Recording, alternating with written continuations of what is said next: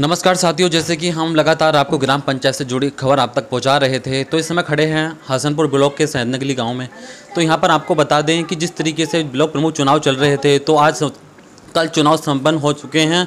तो यहाँ पर जो जो हसनपुर ब्लॉक से ब्लॉक प्रमुख हैं, वो ममता जी हैं, जो लगातार यहाँ पर जो है विकास कार्य कराएँगी। तो हम उनके आवास पर आए हुए हैं, हम उनसे जानेंगे कि जो, अब वो ब्लॉक प्रमुख बनी हैं तो आगे जनता के हित में क्या विकास कार्य करेंगी? तो इस समय मेरे पास ममता जी मौके पर मौजूद हैं। मैं उनसे जानना चाहता हूँ कि आखिर उनकी प्राथमिकता क्या है। जी बताइए क्या नाम आपका?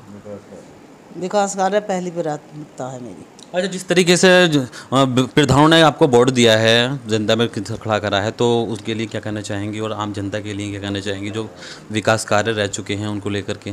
बहुत बहुत सभी का आभार है। देखिए, इनके पुत्र मेरे पास मौके पर मौजूद है, मैं उनसे जानना चाहता हूँ कि आगे उनकी क्या प्राथमिकताएँ रहेंगी। जी, बताइए, क्या नाम आपका? मेरा नाम जी मुदित गुजर है। मैं बीजेपी में जिला उपाध्यक्ष हूँ, पिछड़े मोर्चे में। हमने ये चुनाव लड़ा, जनता जनार्दन के सहयोग से हम चुनाव जीते हैं। सब लोगों ने हम पे जैसे विश्वास जताया है, उसी विश्वास पे हम खरा उतरने की पूरे पाँच साल, पूरा प्रयास करेंगे। जो विकास कार्य सरकार की तरफ़ से, जो योजनाएँ ज़्यादा से ज़्यादा रूप से हम नीचे उतार पाएँगे, उन्हें हम लाने की यहाँ कोशिश करेंगे, लागू कराने की प्रयास करेंगे। देखिए, सबसे ज़्यादा देखा जाए तो आपके हसनपुर ब्लॉक में काफ़ी लोगों की समस्याएँ हैं, जिस तरीके जल भराव है टूटी फूटी सड़कें हैं, और भी ऐसे लोग हैं जिन्हें आवास तक भी नहीं मिल पाए हैं। तो ऐसी स्थिति में देखा जाए तो पहले से सभी लोग वहाँ पर जो है अपना रहन सहन कर रहे हैं, लेकिन उनकी तरफ़ किसी ने नहीं देखा। अब अब तक न जाने कितने ब्लॉक प्रमुख आए और आकर चले गए, लेकिन किसी की तरफ़ किसी ने उनके नहीं देखा। तो ऐसी स्थिति में आप क्या करना चाहेंगे? जी देखिए, संभवतः जो भी योजनाएँ सरकार के द्वारा ऊपर से आएँगी, हम प्रयास करेंगे ज़्यादा से ज़्यादा उन्हें धरातल पर उतारा जाए।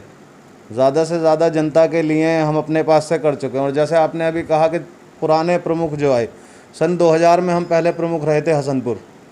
उस समय के हमारे कार्य आज भी चर्चित हैं यहाँ क्षेत्र में। कई सड़कें ऐसी हैं जो कभी नहीं बनी थी, वो हमारे पिछले कार्यालय में बनी थी, कार्यकाल में बनी थी। आगे भी हम यही प्रयास करेंगे कि हम उस चीज़ को दोबारा रिपीट करें और नए कीर्तिमान बनाएँ हमारे इस कार्यालय में, कार्यकाल में। अच्छा जिस तरीके से लगातार उन्होंने बताया है कि क्षेत्र में विकास कार्य कर पाएँगे तो क्या आपको लगता है कि विकास कार्य कर पाएँगे? क्या इनके वादे जो उन्होंने वादे कर रहे हैं वादे वादे में करे जाएँगे या उन पर अमल भी किया जाएगा? बिल्कुल सब वादे पूरे होंगे। अच्छा तो क्षेत्र से जुड़ी जानकारी जिस तरीके से प्रमुख बने थे तो क्या उन्होंने क्षेत्र में क्या विकास कार्य कराया था जी बिल्कुल कराया था। तो आगे इनकी क्या रणनीति रहेगी? जो भी वादे हैं सब पूरे करेंगे हम। अच्छा देखिए, जिस तरीके से लगातार यहाँ प्रमुख जी ने बताया है कि लगातार जो क्षेत्र में समस्याएँ आ रही हैं, उनका निजात दिलाएँगे और आगे भी रिकॉर्ड तौर विकास कार्य कराएँगे, जो उत्तर प्रदेश सरकार से जो भी योजना आएगी, वो गरीब लोगों तक पहुँचाई जाएगी। समय डेस्क रोहित कुमार, अमरोहा। भारतीय स्वाभिमान और शौर्य का उद्घोष राजनीतिक मुद्दों से लेकर जनता के हितों की बात अब होगी नई उम्मीद के साथ। बदलते नए भारत की सोच, समर इंडिया, यही तो।